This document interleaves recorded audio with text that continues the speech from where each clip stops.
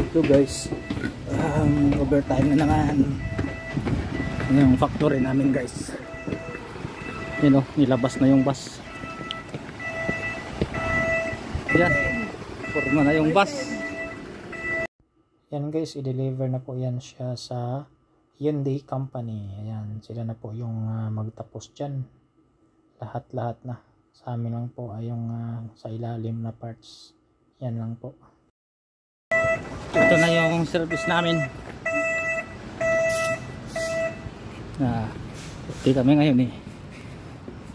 Yan yung service. Ayan, ito si bro. Burn. Cavern. Hi guys. Ano? okay. Yan. My friend. Here, here, here, here. Hi. Hi to my viewers. Oh, this is from Utopia.